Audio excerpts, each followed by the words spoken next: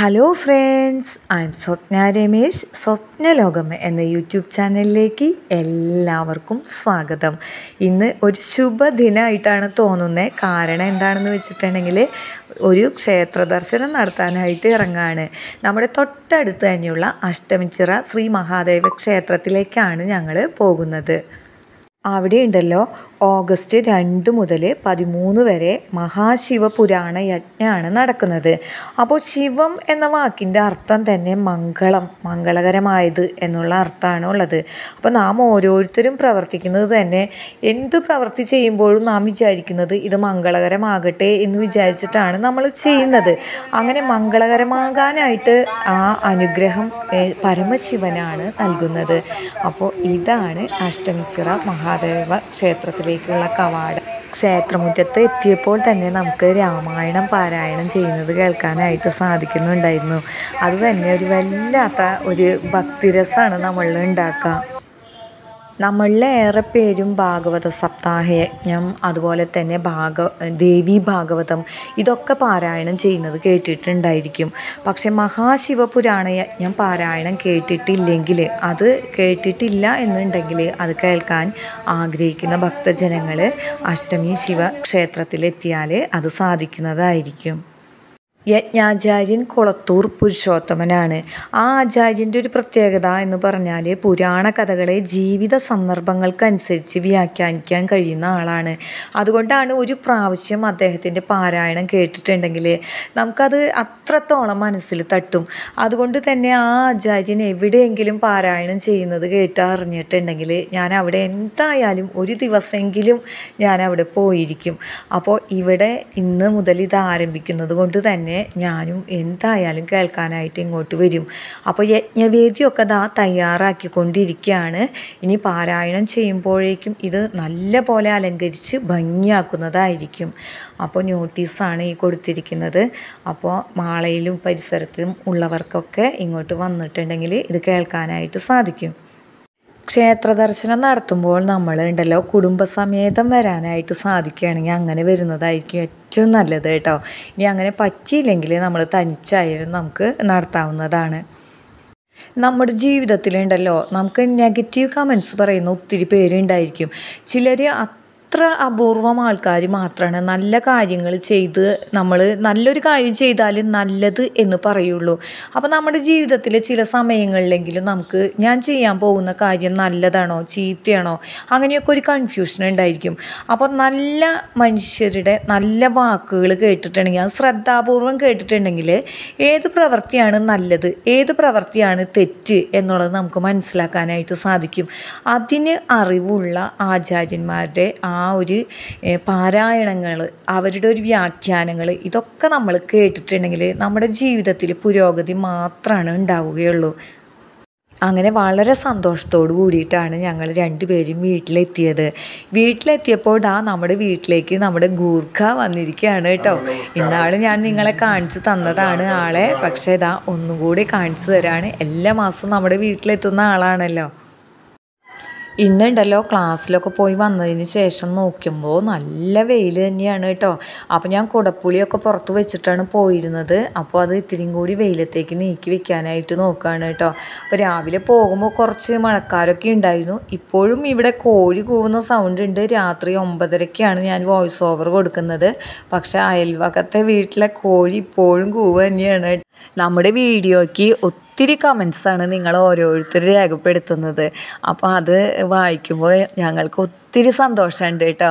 അപ്പോൾ അതിൽ എന്തെങ്കിലും തെറ്റുകളോ കുറ്റങ്ങളോ കുറവുകളോ ഒക്കെ ഉണ്ടെങ്കിൽ നിങ്ങൾ ചൂണ്ടിക്കാണിക്കാനായിട്ട് മറക്കരുത്. അത് തിരുത്തി ഞാൻ മുന്നേറാനായിട്ട് ശ്രമിക്കാം.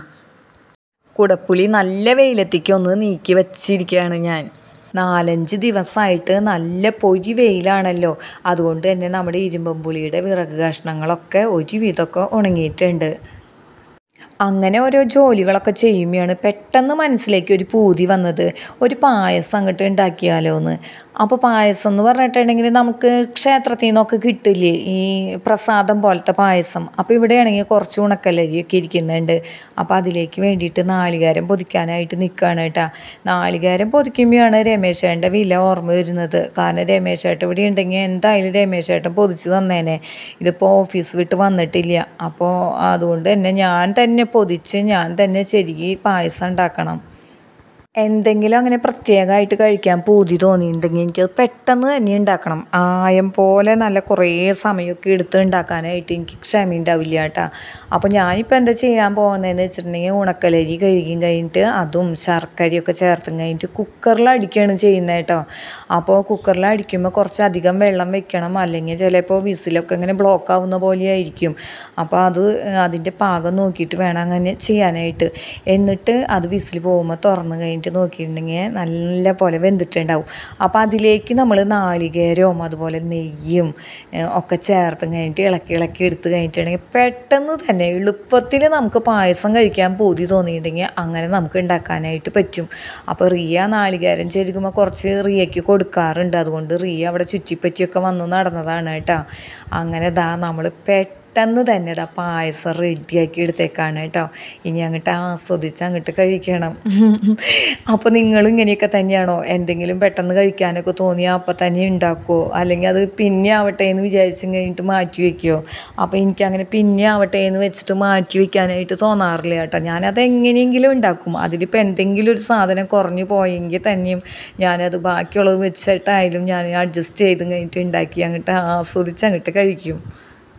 ഏലക്കാപ്പൊടിയൊക്കെ ചേർത്തിരിക്കുന്ന കാരണം നല്ലൊരു സ്മെല്ലൊക്കെ ഉണ്ട് കേട്ടോ. അപ്പോൾ എന്തോ ഒരു രസം. സദ്യക്കൊക്കെ ഇരുന്ന് പായസം കുടിക്കുന്നതൊക്കെ മനസ്സിലാലോചിച്ചിട്ടാണ് ഈ കട്ടപ്പായസം ഞാനിങ്ങനെ കോരി കോരി കഴിക്കുന്നത് പിന്നെ ഉണ്ടല്ലോ ദീപ്തീസ് വേൾഡ് നമുക്ക് കമന്റ് ചെയ്തിരുന്നു. ഏട്ടൻ വീഡിയോ എടുക്കാനൊക്കെ സഹായിക്കുമെന്ന്. അപ്പോൾ രമേശ് ഏട്ടൻ മാത്രമല്ല ഏട്ടാ നമ്മുടെ ഫാമിലിയൊക്കെ കട്ട സപ്പോർട്ടാണ് എനിക്ക് വീഡിയോ എടുക്കാനും എഡിറ്റിങ്ങിനും എല്ലാത്തിനും അവരൊക്കെ കൂടെയുണ്ട്. പിന്നെ ഹേമലദാസ് അടുക്കളയിലെ ഹേമേച്ചി എന്നോട് കമന്റ് ചെയ്തിട്ടുണ്ട്. രമേശ് ഏട്ടനെ അങ്ങനെയൊന്നും കളിയാക്കണ്ടാന്ന്. വെറുതെ പറഞ്ഞതാണ് ചേച്ചി. അതൊന്നും ഒരു കളിയാക്കലല്ല. രമേശ് ഏട്ടൻ എന്നെ പറയുന്നതൊക്കെ കേട്ടിട്ടുണ്ടെങ്കിൽ ഇതൊക്കെ നിസ്സാരം. ഇങ്ങനെയൊക്കെ ആണെങ്കിലും രമേശ് ചേട്ടൻ വന്നിട്ട് ഞങ്ങൾ ഒരുമിച്ചൊക്കെയാണ് ചായക്ക് കുടിക്കാനൊക്കെ കഴിക്കാനൊക്കെ ഇരിക്കാറ്. പക്ഷേ ഇന്നിപ്പോൾ ഈ പായസപ്പൂതി കൊണ്ട് ഞാൻ രമേശ് ചേട്ടൻ വരുന്നതിന് മുൻപ് തന്നെ കഴിക്കാനിരുന്നു. അപ്പോഴുണ്ടടാ അപ്പുറത്ത് ഇതാ വണ്ടി വന്ന് നിൽക്കണ സൗണ്ട് കേൾക്കുന്നുണ്ട് കേട്ടാ. അപ്പം ഇനി രമേശ് ചേട്ടന്റെ അടുത്തേക്ക് ഒന്ന് ചെന്ന് നോക്കാം. അതുകൊണ്ട് തന്നെ ഇന്ന് ഗേറ്റ് തുറക്കാനും ഒന്നിനും ഞാൻ അപ്പുറത്തേക്ക് പോയിണ്ടായില്ല ഏട്ടാ ഞാനിത് കഴിച്ചുകൊണ്ടിരിക്കല്ലായിരുന്നത് അങ്ങനെ രമേശ് ഏട്ടൻ തന്നെ ഗേറ്റ് തുറന്ന് വണ്ടിയൊക്കെ കയറ്റി കഴിഞ്ഞിട്ട് വന്നിരിക്കുകയാണ് ഏട്ടാ അപ്പോൾ കുറച്ച് സാധനങ്ങളൊക്കെ വാങ്ങാനായിട്ട് പറഞ്ഞിട്ടുണ്ടായിരുന്നു ഞാനും ചിഞ്ചും. അപ്പോൾ അതൊക്കെ കൊണ്ടുവന്നിട്ടുണ്ട്. അപ്പോൾ ഇനി അതൊക്കെ എടുത്ത് കഴിഞ്ഞിട്ട് നമുക്ക് ഇട്ടൊക്കെ വെക്കണം. കുറച്ച് ദിവസം കൂടിയും കഴിയുമ്പോൾ രമേശ് ഏട്ടൻ വണ്ടി കൊണ്ടുവരുമ്പോൾ റിയ മാത്രമല്ലല്ലോ ഓടിച്ചല്ല. കുഞ്ഞിക്കാലും കൂടി ഓടിച്ചല്ലോ മഴ ഒരു ലേശം പോലും ചാറാത്തത് കൊണ്ട് തന്നെ നമുക്ക് രണ്ട് നേരവും ഇപ്പോൾ ചെടിക്ക് നനയ്ക്കേണ്ടതായിട്ട് വരുന്നുണ്ട് കേട്ടോ. അപ്പോൾ ഞാൻ ആ ചെടി നനച്ച് കൈയൊക്കെ കുഴഞ്ഞ് നിൽക്കുക അപ്പോൾ രമേശേട്ടൻ ബക്കറ്റിൽ വെള്ളമാക്കി കഴിഞ്ഞിട്ട് വരുന്നുണ്ട്. അപ്പോൾ കഴിഞ്ഞ ദിവസം നമുക്ക് ആരോ കമന്റ് ചെയ്തിരുന്നു. കൂർക്കത്തല നട്ടിട്ട് അത് നനച്ചില്ലേന്ന്. അവരെ വീട്ടിലത് നനയ്ക്കുമ്പോൾ ഞാൻ നട്ടിരിക്കുന്നത് നനച്ചി നനച്ചിട്ടുണ്ടോ എന്നുള്ളതൊക്കെ അവർ ഓർത്തുന്ന്. അപ്പോൾ എനിക്കത് കേട്ടപ്പോൾ ഭയങ്കര സന്തോഷം തോന്നിയിട്ട്. അപ്പോൾ രമേശേട്ടൻ വെള്ളമൊക്കെ കൊണ്ടുവച്ച് തന്നു. അപ്പോൾ പിന്നെ എനിക്ക് എടുത്ത് ഇങ്ങനെ ഒഴിക്കേ വേണ്ടു. ഭാഗ്യത്തിന് നമ്മുടെ കോഴികൾ ഇതൊന്നും ചിക്കി ചകഞ്ഞ് കാട്ടി കളഞ്ഞിട്ടില്ല. അപ്പോൾ അന്ന് മഴയുള്ളപ്പോഴാണ് നമ്മൾ ഇത് പറിച്ചു വെച്ചിരുന്നത്. ഇപ്പോഴൊക്കെ ആണെങ്കിൽ ഇതുപോലെ വെയിലത്താണെങ്കിൽ ഒന്നും പിടിക്കില്ലായിരുന്നു. അപ്പോൾ കർക്കിടകത്തിലെ തോരാമഴയിലാണ് ഈ കൂർക്കത്താലിയൊക്കെ നടേണ്ടത്. പക്ഷേ ഇപ്പോൾ കണ്ടില്ലേ മഴയും ഇല്ല ഒന്നുമില്ല. ഇനി നമ്മൾ തന്നെ ഇങ്ങനെ കോരി ഒഴിക്കണം. ഒരു കുഞ്ഞു ചെടി പോലും വെള്ളം കിട്ടാണ്ട് നിൽക്കുകയാണെങ്കിൽ വൈകിട്ടാകുമ്പോഴേക്കും വാടി അങ്ങോട്ട് തളർന്ന് കിടക്കുകയാണ് ചെയ്യണേ അപ്പോൾ അതുകൊണ്ട് തന്നെ നനയ്ക്കാതിരിക്കാനായിട്ട് വയ്യ. അപ്പോൾ ഞാനാണെങ്കിൽ ഗാർഡൻ ഹൗസൊക്കെ കർക്കിടക മാസമല്ലേ എന്ന് വിചാരിച്ചു കഴിഞ്ഞിട്ട് അതൊക്കെ കെട്ടിയും കഴിഞ്ഞ് ഒരു ഭാഗത്ത് എടുത്തു വെച്ചതാണ്. മഴക്കാലത്ത് നനയ്ക്കണ്ടല്ലോ എന്ന് വിചാരിച്ചിട്ട്. എവിടെ ഇനിയിപ്പോൾ അതൊക്കെ എടുത്തും കഴിഞ്ഞിട്ട് ആദ്യം ഫിറ്റ് ചെയ്യണം. അപ്പോൾ ഇന്നൊക്കെ എന്തായാലും ഈ ബക്കറ്റ് കൊണ്ട് തന്നെ വെള്ളം പിടിച്ചും കഴിഞ്ഞിട്ട് ഒഴിക്കട്ടെ. അതൊക്കെ കെട്ടി വെച്ചിരിക്കുന്നത് എവിടെയാണെന്നൊക്കെ കണ്ടെത്തിയിട്ട് വേണം ഇനി താഴോട്ട് എടുത്തുകൊണ്ട് വരാനായിട്ട്. നനച്ചു കൊടുത്താലൊന്നും ഒരു പ്രയാസമില്ല നമുക്ക്. കാരണം എന്ന് വെച്ചിട്ടുണ്ടെങ്കിൽ അതൊക്കെ ഇത് വലിച്ചെടുക്കുന്നുണ്ട്. നിറയെ പൂക്കളൊക്കെ ആയിട്ട് കുമ്പളവും മത്തങ്ങി ഇങ്ങനെ പടർന്ന് കിടക്കുന്ന നോക്കി. ഇവിടെ വന്ന് നിൽക്കുമ്പോഴുണ്ടല്ലോ വണ്ടി ഇങ്ങനെ മൂളിക്കൊണ്ട് ഇങ്ങനെ പറക്കുന്നത് കേൾക്കാനായിട്ട് നല്ല രസമാണ് കേട്ടോ. അപ്പോൾ ആ സൗണ്ട് ഞാൻ കൊടുക്കാത്തത് അമ്പലത്തിൽ നിന്ന് പാട്ട് കേൾക്കുന്നുണ്ട്. അതുകൊണ്ടാണ് കേട്ടോ. ഇതാണെങ്കിൽ ഇതാ തനിയെ ഒരു മുളച്ചു പൊന്തിയിട്ടുള്ള വേപ്പിലിയാണ്. അതുപോലെ തന്നെ ഓണത്തിനെ വരവേൽക്കാനായിട്ട് നമ്മുടെ തുമ്പപ്പൂവ് അതുപോലെ ഒരുപാട് പൂക്കളൊക്കെ ഉണ്ടായി നിൽക്കുന്നുണ്ട്. ഇത് കണ്ടില്ലേ? ഒരു കായ് പിടിക്കുന്നുണ്ട്. അത് എന്ത് കായെന്ന് അറിഞ്ഞുകൂടാ വെള്ളരിക്കാണെന്ന് തോന്നുന്നേ അതൊരു ചെറിയ ചെടിയുമാണ് ഇങ്ങനെ പടർന്ന് കയറിയിരിക്കുന്നത് കേട്ടോ. കിണറിന്റെ മുകളിലൊക്കെ ആണെങ്കിൽ പിന്നെ അത് കുഴപ്പമില്ല. അത് ഉറപ്പായിട്ട് അതൊന്ന് പിടിച്ചു നിൽക്കും. ഈ ചെറിയ ചെടിയൊക്കെ ഇത് പടർന്ന് കയറിയിട്ടുണ്ടെങ്കിൽ തൂങ്ങിപ്പോവില്ലേ എന്ന് ഞാൻ രമേശനോട് ചോദിക്കായിരുന്നു കേട്ടോ. ഇത് കണ്ടില്ലേ? നമ്മുടെ നാടൻ ചെത്തിയാണ്. ഈ ചെത്തിയില്ലാതെ എന്തോ ഓണക്കാലം അല്ലേ? ഓണാണെന്ന് തോന്നുന്നത് തന്നെ ഈ ചെത്തിയൊക്കെ കാണുമ്പോഴായിരിക്കും. പിന്നീടല്ലോ എപ്പോഴും വീട്ടിൽ പൂക്കൾ കാണണമെന്നുണ്ടെങ്കിൽ ഇതുപോലത്തെ ചെടികൾ വെച്ച് പിടിപ്പിക്കാനാട്ടോ ഈ വയലറ്റ് പൂവൊക്കെ ഉള്ളത്. അതിന് വേനലെന്നോ വർഷമെന്നോ അങ്ങനെയൊന്നുമില്ല. എപ്പോഴും അത് പൂത്തുകൊണ്ട് തന്നെ ഇരിക്കും. പിന്നെ നമ്മുടെ വീട്ടിലുണ്ടല്ലോ ഞങ്ങൾ വെള്ളമൊന്നും കോരാറില്ല കിണറ്റിൽ നിന്ന് മോട്ടർ അടിക്കുകയാണ് ചെയ്യാറ്. അപ്പോൾ ദാ ആ കപ്പിയുടെ അടുത്ത് തന്നെയായിട്ട് ഒരു കുമ്പളങ്ങ ഉണ്ടായി കിടക്കുന്നുണ്ട് കേട്ടാ അപ്പോൾ ഒരുവിധം വലിപ്പം വെച്ചിട്ടുണ്ട്. അപ്പോൾ ഇനി പ്രാണിയൊന്നും കുത്തി അത് കളയില്ല എന്ന് വിചാരിക്കുന്നു. അറിയില്ല കേട്ടോ. കുറച്ചും കൂടി വലുതായെങ്കിൽ പിന്നെ നമുക്ക് ഉറപ്പിക്കാം. ഇതെന്തായാലും വലുതായി നമുക്ക് കിട്ടുന്നത് അപ്പോൾ മത്തങ്ങി ഇത്രേശം ആവുമ്പോഴേക്കും അതൊക്കെ ഒക്കെ എന്തോ കുത്തിയും ഓട്ട കുത്തിയും അങ്ങനെയൊക്കെ കാട്ടിക്കളയും. അതുകൊണ്ട് മത്തങ്ങ അങ്ങോട്ട് പിടിച്ചിട്ടില്ല. അവിടെ ഇവിടെ ഇവിടെയൊക്കെ ആയിട്ട് ചെറുത് ചെറുതായിട്ട് ഉണ്ടായി തുടങ്ങിയിട്ടുള്ളൂ. വെണ്ടയ്ക്ക നമ്മുടെ വീട്ടിൽ ഇഷ്ടം പോലെ ഉണ്ടാവുന്നുണ്ട് കേട്ടോ. നാലഞ്ച് ഗ്രോ ബാഗാണ് ഞാൻ വെണ്ടയ്ക്ക വെച്ച് കൊടുത്തിരുന്നത്. അപ്പോൾ അതിൽ നല്ല ഹൈറ്റൊക്കെ വെച്ച് ഞാൻ പറയാറില്ലേ എന്നേക്കാളൊക്കെ ഹൈറ്റ് വെച്ച് കഴിഞ്ഞിട്ട് പോയേക്കാണ് ആ തൈ. അപ്പം പക്ഷേ അതുമ്മേ എപ്പോഴും രണ്ട് ദിവസം രണ്ട് ദിവസം കൂടുമ്പോൾ നമുക്കിങ്ങനെ കായ എടുക്കാനായിട്ട് പറ്റുന്നുണ്ട് കേട്ടോ. ഭയങ്കര സ്പീഡിലാണ് ഈ വെണ്ടക്കായ ഇങ്ങനെ വളർന്നുകൊണ്ടിരിക്കുക ഇന്ന് നമ്മൾ കാണുമ്പോൾ വിചാരിക്കും നാളെ പറിക്കുക അത് ഇത്തിരി കൂടി വലുതാവാനുണ്ടല്ലോ എന്ന് അപ്പോഴേക്കും അത് ആ ഉച്ച തിരിയുമ്പോഴേക്കും നല്ല വലിപ്പം വെച്ചിട്ടുണ്ടായിരിക്കും. അപ്പോൾ നമുക്ക് സാമ്പാർ വെക്കാനോ അല്ലെങ്കിൽ വെണ്ടയ്ക്ക പുളിങ്കറി വെക്കാനൊക്കെ ആയിട്ട് നമ്മുടെ വീട്ടിൽ തന്നെ ഈ വെണ്ടയ്ക്കൊക്കെ ഉണ്ട് കേട്ടോ. ചുവന്ന വെണ്ടയ്ക്ക ഇവിടെ ഉണ്ടായിരുന്നതിന്റെ കുരു പാവിയും കഴിഞ്ഞിട്ട് ഞാൻ മുളപ്പിച്ചിട്ട് അതിന്റെ തൈകൾ ഞാനിങ്ങനെ ഗ്രോ ബാഗുകളിൽ വെച്ചിട്ടുണ്ട്. അപ്പോൾ ഇനി വലുതാവാനുള്ളത് ചുവന്ന വെണ്ടയ്ക്കയുടെ തൈയാണ്. അതുപോലെ തന്നെ ഒരു പ്രത്യേക തരം വഴുതനങ്ങയുടെ തൈയും ഞാൻ പിടിപ്പിച്ച് വെച്ചിട്ടുണ്ട്. അതാണെങ്കിൽ ഒട്ടും വലുതാവുന്നില്ല നിലത്തുനിന്ന് പൊന്തുന്നില്ല. അപ്പോൾ അതിനും കുറച്ച് വളമൊക്കെ ഇട്ട് ചാണകവും വളമൊക്കെ ഇട്ടും കഴിഞ്ഞിട്ട് അതിനെയൊക്കെ ഒന്ന് വലുതാക്കി കൊണ്ടുവരണം. കണ്ടില്ലേ? ഇത്രയധികം വേണ്ടയ്ക്ക നമുക്ക് ഉണ്ടായിരുന്നു.